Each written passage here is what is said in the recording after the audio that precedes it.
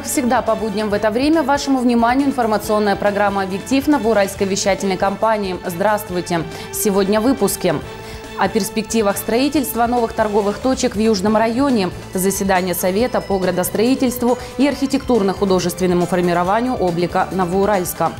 В городе формируется бессмертный полк. Заявки на участие подали уже около сотни новоуральцев. Сергей Белов, актер театра и кино, режиссер, телеведущий из Екатеринбурга, читал новоуральским школьникам стихи Твардовского и пел песни военных лет.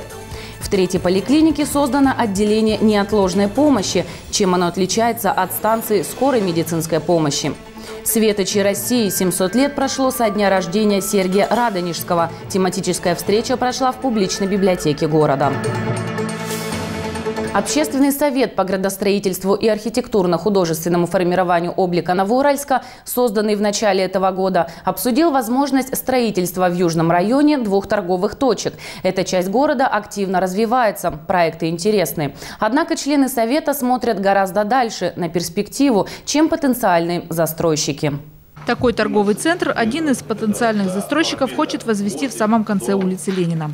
Застройщик претендует на 6 с небольшим тысяч квадратных метров новоуральской земли и озвучивает, что слышит пожелания новоуральского руководства по созданию для горожан новых рабочих мест. Одноэтажное здание, промышленная и продовольственная зоны, парковка на несколько сотен машин. Аналогичный проект уже реализуется в Артемовском. Тем не менее, увещевание в том, что сэндвич-панели и яркое цветовое решение – это типичная современная архитектура для такого вида объектов, разбились о позицию членов Совета. Ну, это коробка коробкой. Ну, это слово торговый центр, эти мегамарты, мини-марты, они уже надоели, честно слово. Торговый центр это вообще уже навязан зубам. Даже название, и то уже оно бы сыграло свою э, положительную роль. Мы сейчас будем в целом вырабатывать стиль значит, э, городских зданий, и, и, и как они смотрятся днем, и как они смотрятся ночью. Поэтому нам не хотелось потом заставлять подсвечивать здание, то есть минимальная подсветка и игра светом должна быть обязательно. Это, это точно. Второе, посмотрите по входной группе в целом, чтобы не было обклеено значит, всякими тут плакатами и так далее. По названию, пожалуйста, подумайте. Я почему говорю, как назовешь, так и плывет. Кедр это кедр, да, это могут быть уже там зеленые елочки и подсветка соответствующая. Меркурий это в неком, ну, в космическом там условно стиле, да. Тогда само название подскажет вам э, стилистику лицевой стенки. Вы тогда ее и подработаете. Договорились? Члены Совета сошлись во мнении больше зелени, больше благоустройства, больше освещения, а само здание должно использоваться по назначению и не стоять с пустыми площадями ни в ближней, ни в дальней перспективе. Прозвучали предложения и по их внутреннему заполнению. Новоуральск, город культуры и спорта, давно уже нуждается в нечто большем, чем утилитарный магазин шаговой доступности, даже если он выполнен в веселенькой цветовой гамме. Торговые здания должны быть стильными, и проектировщики должны обязательно предусматривать в них социальную зону с кафе, с детскими и спортивными площадками и изюминками типа мастерских по ремонту обуви или одежды или спортбаров, которыми изобилует Екатеринбург. Разработчики заверили, что идеи услышали и взяли на карандаш. Хотелось сделать очень технологичную автомойку, значит время ушло, моек оказалось в том районе достаточно много. Другой проект – крытый мини-рынок на земельном участке между Сбербанком и автозаправкой «Сибнефть» членам Совета понравился больше. И у горожан, и у предпринимателей такой рынок однозначно будет востребован. Но реализовать идею именно здесь не позволит санитарная зона других объектов. Поэтому застройщику предложили не отказываться от прежних планов на этот земельный участок и возвести автомойку, а под мини-рынок подыщут другое место. Ольга Бертье, Юрий Михалев, Новоуральская вещательная компания. К другим темам. Раньше неотложную помощь новоуральцам оказывали медики станции скорой помощи. Теперь на базе третьей поликлиники создано отделение неотложной медицинской помощи. С ее работой познакомилась наша съемочная группа. Сегодня 16 вызовов на утро. Возможно, будет больше. Медицинский стаж Евгения Игнатьева более 10 лет. Он фельдшер скорой помощи. По совместительству работает в новом отделении неотложной медицинской помощи при поликлинике номер 3, для которого специально приобрели три легковых автомобиля. Кроме Евгения, вызова обслуживают еще четыре фельдшера. Два с утра, два во второй половине дня. В сумке фельдшера есть все необходимое для оказания неотложной помощи больному. Работы у нас хватает. В день приходится 14-15 вызовов на фельдшера. На дом э, вызывается неотложная, неотложная помощь, фельдшер неотложной помощи по телефону, тому же, которому раньше вызывали пациенты врачей из городской поликлиники. 248-28. Для вызывающих неотложную помощь алгоритм действий не изменился. Набрал 03, приедет скорая. Набрал номер поликлиники, а вот тут теперь возможны два варианта. Либо приедет неотложка, либо придет участковый врач. Есть ряд состояний неотложной помощи, когда бригада скорой помощи по большому счету не нужна. И не нужен доезд за 20 минут, где можно где-то уложиться в больший промежуток времени. И есть врач-терапевт, который может прийти через час, через два, а если не с утра прием, он может прийти через пять, через шесть. Это тоже нехорошо.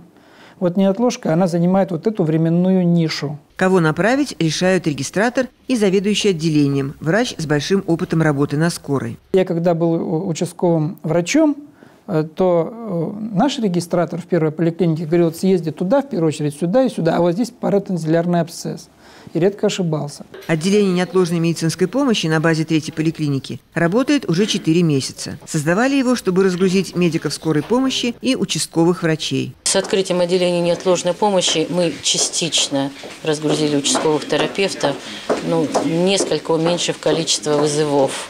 Но в связи с тем, что у нас терапевтов катастрофически не хватает, из 29 работают всего лишь 18, поэтому нагрузка остается на них все равно высокая. Такова жизнь. Ольга Анечкова, Павел Сизов, Наурайская вещательная компания. Два дня осталось до празднования 9 мая, Дня Победы советского народа над фашистскими захватчиками Великой Отечественной войне. И мы продолжаем рубрику «Бессмертный полк». В ней новоуральцы рассказывают о своих родных, настоящих героях, тех, кто подом и кровью каждый день приближал День Победы. Абсолютно в каждой семье есть родственники, которые трудились в тылу, воевали на фронте, но 9 мая на парад они уже не выйдут. Никогда. За них в колонии Бессмертного полка пойдут по потомки, которые знают и помнят подвиги старшего поколения. У нас очень большая семья, и много моих родственников участвовало в Великой Отечественной войне. Папа, он в 1944 году добровольцем ушел на фронт, в 1945-м э, демобилизовался осенью, а в 1946-м его уже призвали на действительную срочную службу, и он до 1952 года служил в Западной Украине, в Закарпатье. Так что у него война закончилась в 1952 году только. Его сестра, тетя моя, она с 1942 года на фронте, она наводчик э, зенитного орудия. То есть до 1945 года, до самой демобилизации, она была в действующей армии. Муж папиной сестры Закончил войну в Кенигсберге командиром роты разведчиков. После этого работал в Подмосковье начальником цеха на Раменском заводе. Мой родной дедушка, э, папа моей мамы, э, военный инженер второго ранга. Сначала он взрывал мосты и железные дороги при отходе от рубежей нашей Родины. А потом обратно строил дороги и возводил мосты для того, чтобы к фронту вовремя поступало боеприпасы, питание и солдатики. Брат моего дедушки, тоже командир стрелковой роты, э, закончил войну в 1945 году, жил э, в Кривом Рогу. Мы очень часто ездили туда в гости. Бабушкин брат Григорий Петрович, военный летчик. Был сбит в 1942 году, попал в плен. В 1944 году э, был повешен фашистами за несколько побегов. Дорогие ветераны, мы очень благодарны вам за то, что вы сделали, за то, что вы сделали во время войны, за то, что вы сделали после войны, за то, что вы восстановили страну, построили новые города. Спасибо вам за все. Мы очень рады, что вы сегодня вместе с нами. Ну а тех, кого вместе с нами нет, за них на параде Победы пройдемся мы, их внуки и правнуки. Всех поздравляю с праздником и ветеранов, и жителей города. С праздником Великой Победы. Всего нам всем хорошего, здоровья и счастья. 9 мая на Аллее Боевой Славы в 10 часов начнется митинг, посвященный празднованию 69-й годовщины со дня Великой Победы. Цветы к вечному огню традиционно возложат ветераны Великой Отечественной войны, труженики тыла, работники предприятий и организаций города, школьники, студенты. Колонна бессмертного полка собирается в 9.30. На сегодняшний день заявилось уже около 100 новоуральцев, желающих присоединиться к этой общероссийской инициативе. После митинга начнется традиционная легкоатлетическая эстафета. Далее праздник продолжится на Аллее Трудовой Славы, впервые после длительного перерыва. Народные гуляния пройдут и в Центральном парке культуры и отдыха. В 15 часов здесь начнется победный концерт с участием баян-шоу Руслана Манина из Екатеринбурга, творческих коллективов Новоуральска. В 18 часов танцевальная программа в сопровождении муниципального духового оркестра «Послевоенная танго». Комплексный репортаж с празднования Дня Победы смотрите 12 мая. А 9 мая с 10 утра и до полудня Новоуральская вещательная компания будет вести прямую трансляцию с митинга возложения цветов к вечному огню. Многие из ветеранов по состоянию здоровья не смогут прийти на митинг. И в первую очередь это наш подарок для них. По данным Комитета по делам молодежи, семьи, спорту и социальным программам, сегодня в Новоуральске проживают всего 85 участников Великой Отечественной войны. 1517 17 тружеников тыла, 24 узника концлагерей, 20 блокадников Ленинграда. События Великой Отечественной войны никого не оставляют равнодушными. Современное поколение узнает о подвигах тех лет из рассказов ветеранов, документальных и художественных фильмов и, конечно, из произведений литературы. Все это воспитывает патриотический дух молодежи. Поэт Александр Твардовский, принявший участие в военных действиях, на себе испытал тяготы и потери. В то нелегкое время его произведения давали людям надежду на завтрашний день. В поэме Василий Теркин поэт показал фронтовую жизнь, жизнь. В ней проявилось своеобразное понимание Твардовским героического. Сегодня стихи Твардовского «Песни военных лет» перед новоуральскими старшеклассниками в Доме культуры УХК исполнял Сергей Белов, актер театра и кино, режиссер, музыкант, ведущий программ на 41-м канале в Екатеринбурге. Встреча была посвящена предстоящему Дню Победы. Таких встреч должно быть больше. Мы сегодня разучились быть в зрительных залах, получать удовольствие. Вы знаете, что здесь мы все лечимся с вами выздоравливаем. Мобильные телефоны убирайте, пожалуйста. Как они мне мешали сегодня, ваши светящиеся лица. Лучше бы они светились от песен. Для людей военного времени стихи Александра Твардовского были как глоток свежего воздуха. Избегая высокопарных слов и героического пафоса, автор описывал будни фронтовой жизни глазами простого солдата.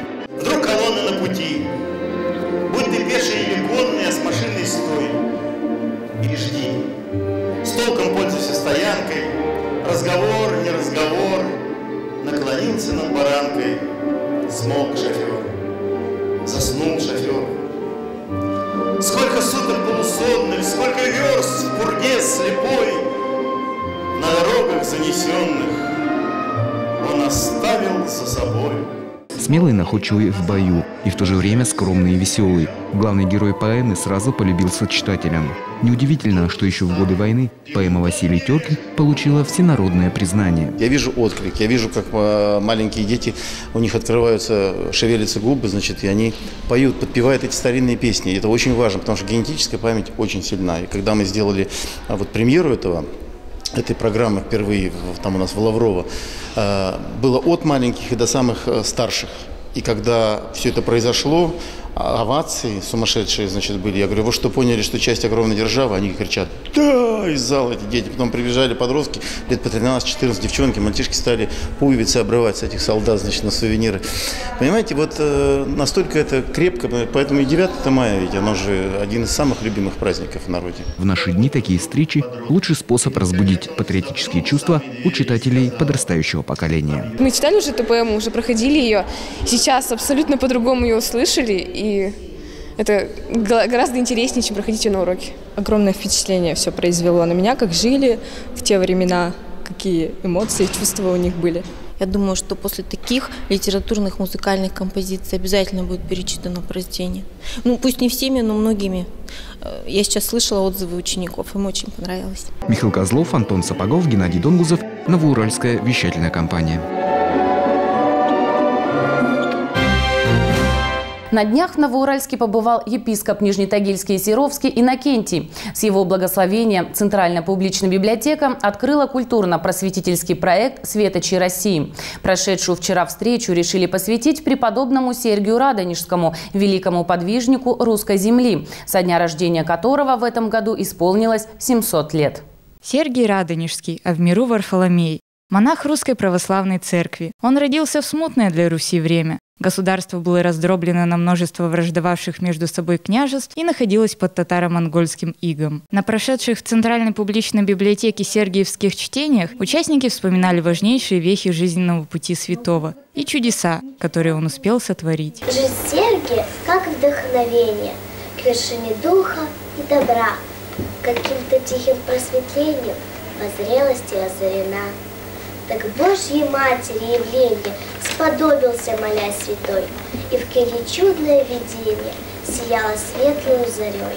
Раз, взявший инока с собою, с ручьем он чудо совершил, средь лужицы, блестя струёю, внезапно мощный ключ забил. Монах, аскет и чудотворец, Сергий быстро завоевал уважение у русских князей. Именно он благословил Дмитрия Московского, впоследствии прозванного Донским, на битву с ханом Мамаем на Куликовом поле. Объединенное русское войско одержало победу, а авторитет Сергия Радонежского упрочился. На его примере мы снова имеем ту надежду и тот вектор, в котором направлении необходимо развиваться и собираться. Сегодня праздник твой, о Сергий преподобный, и торжествует лавра, бьют колокола, Идет вся книж к тебе, духовно суть голодный.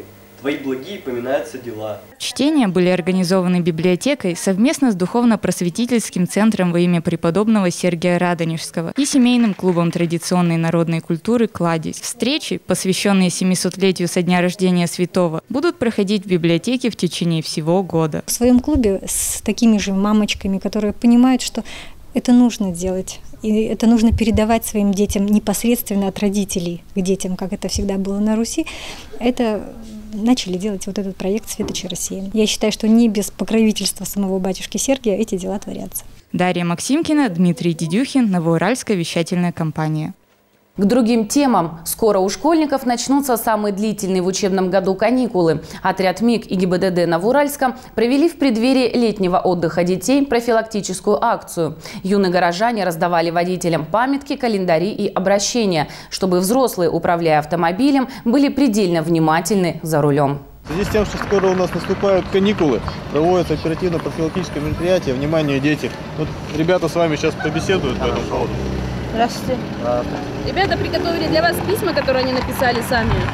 Желаем вам безопасных дорог. Будьте внимательны. Спасибо. Главная цель профилактической акции – привлечь внимание пешеходов и водителей к вопросам безопасности на дорогах. Особо это актуально в преддверии летних каникул, когда у детей появляется много свободного времени, а некоторые без всякого контроля гуляют по городу. Отряду МИГ уже 4 года, а подобные акции традиционные.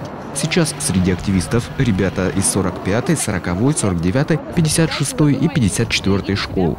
Совместно с инспекторами ГИБДД они раздают водителям листовки, календари и просят водителей предельно внимательными за рулем, особенно во время летних каникул.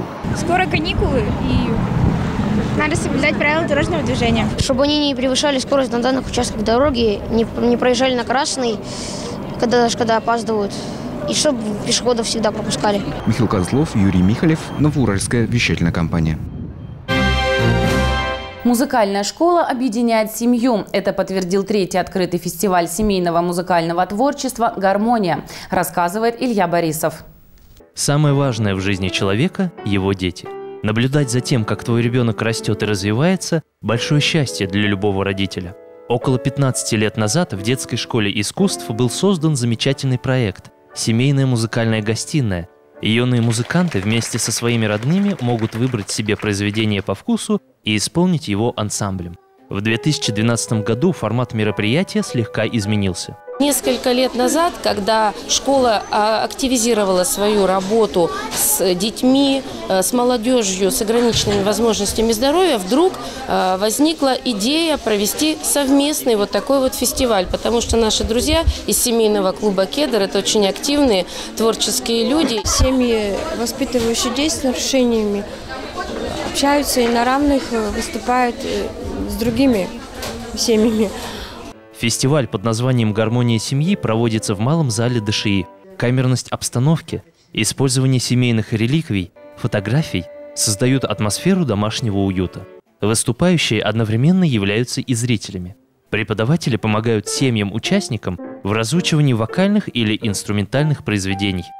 Основное время в период реализации проекта занимает подготовительный этап – подбор репертуара, репетиции, создание видеопрезентации. Я буду играть в малом зале на пианино. Я буду играть песенку про бабку Ёшку и про цыпляток. Фестиваль – это народный конкурс, который принимает всех э, ну, артистов, взрослых, детей, мам, бабушек, дедушек. Я буду сегодня выступать со своей старшей сестрой на фортепиано, играть про Петю. Мы очень рады участвовать и вообще очень рады таким мероприятиям, потому что мы показываем все свои возможности, стараемся и стараемся быть с детишками, с другими, всем вместе. С 2012 года Комитет по делам молодежи, семьи, спорта и социальным программам администрации НГО включил фестиваль в программу адаптации детей и молодежи с ограниченными возможностями. За помощь и поддержку семейный клуб «Кедр» выразил благодарность комиссии по молодежной политике Думы НГО и ее председателю Елене Стрельцовой. Илья Борисов, Дмитрий Дедюхин, Новоуральская вещательная компания – о погоде на среду 7 мая. Утром облачно с прояснениями. Небольшой дождь. В течение дня переменная облачность. Температура воздуха ночью плюс 5-12 градусов. Днем 11-13 выше нуля. Ветер западный до 6 метров в секунду. Атмосферное давление 732 миллиметра ртутного столба.